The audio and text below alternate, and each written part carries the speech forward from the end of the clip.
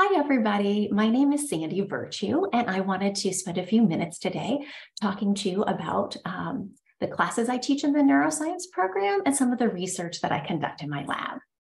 So, I am both a professor in the psychology department and the neuroscience program, and I am associate director of the neuroscience program.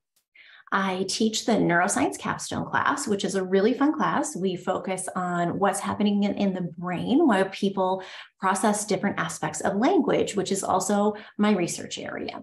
So, in the capstone class, we talk about first language acquisition. We talk about what happens in the brain when you're learning a new language or you are learning multiple languages.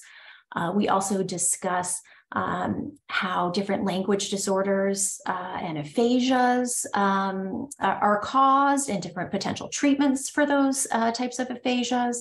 Um, we even look at how music is processed in the brain in a similar manner to how you learn a language. Uh, so it's a really fun class. You also conduct a grant proposal throughout the quarter. So you're coming up with a new research idea and um, writing a document and then presenting that in class as well.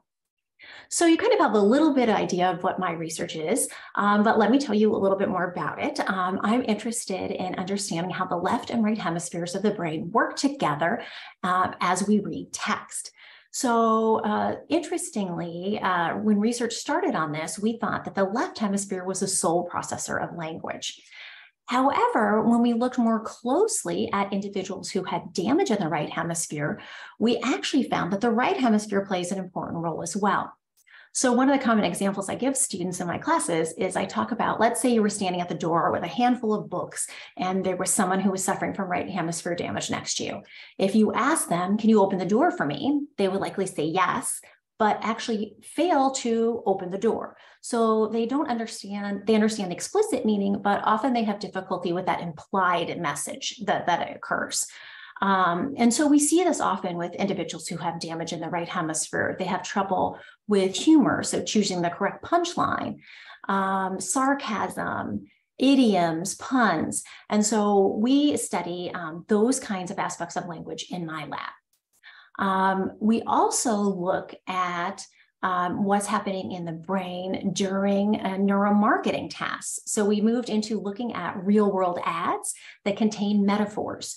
For example, if you were given the ad, these jeans are green, it doesn't mean they're literally the color green. It means that they're made in an environmentally friendly way. So we want to see how do people understand that and how does the brain process that information?